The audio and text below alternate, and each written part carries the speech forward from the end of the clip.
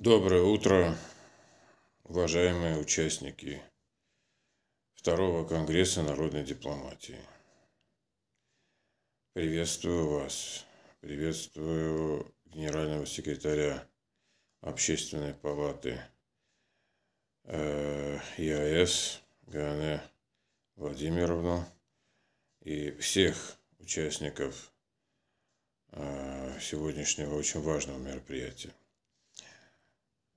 Э, народная дипломатия в сегодняшней мировой непростой ситуации играет огромную роль э, для наведения мостов между народами, для разрешения конфликтов, э, для того, чтобы мир не вошел в необратимую фазу военных конфликтов, действий, которые приведут к уничтожению всего человечества.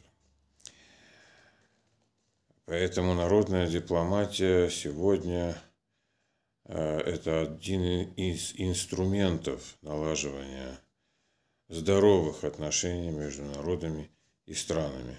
В условиях, когда э, правительства некоторых стран ведут агрессивную политику по отношению к другим странам, по отношению к соседям, по отношению э, к странам, которые э, не готовы выполнять роль колоний и так далее.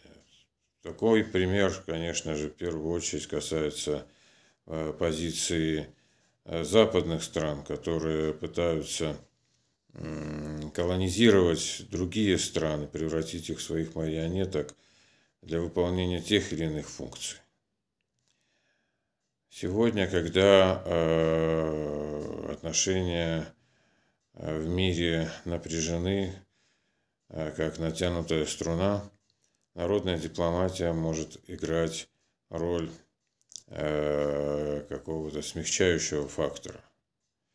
И не только в политике, но и в культуре, образовании, в других сферах деятельности человечества.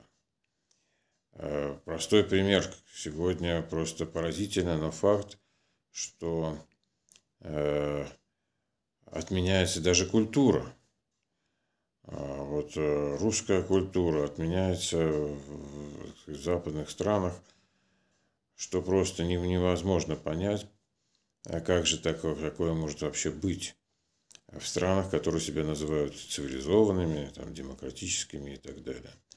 Но народы, народы не идут на поводу у своих э, правительств и стараются э, прогрессивным образом относиться и к русской культуре, и э, сохранять гуманитарные связи и так далее.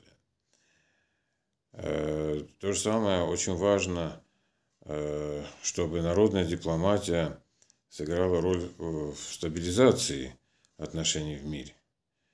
А, в различных регионах идут военные конфликты, э, сотни тысяч беженцев находятся э, на улицах, люди голодают и так далее. И, конечно же, народная дипломатия должна поднимать эти гуманитарные вопросы для стабилизации э, мира в мире, в различных его регионах. То же самое касается Э, нас, Армении, э, ведь не может быть стабилизации э, в регионе Южного Кавказа, пока 150 тысяч беженцев из Республики Арцах находятся на улицах, временных каких-то помещениях и не могут вернуться к себе домой. То, что произошло в Арцахе, конечно же, требует тоже э, вмешательства народной дипломатии, чтобы мы помогли э, этим людям, э, которые подверглись геноциду, вернуться в свои дома на Горном Карабахе. Поэтому примеров таких по всему миру можно привести огромное количество. И я думаю, что вот Конгресс, который сегодня начинает свою работу – имеет очень большую, важную миссию налаживания мостов между народами, налаживания культурных, образовательных связей, налаживания взаимопонимания между народами и, конечно же, функцию стабилизации отношений в мире, в регионах. Поэтому желаю очень успешной работы Второму Конгрессу народной дипломатии. Надеюсь, что сегодняшнее выступление, резолюции, предложения и решения будут направлены на сохранение нормальных отношений между народами и восстановление мира во всем мире. Вам удачи, всего хорошего. С вами ваш преданный друг из Армении.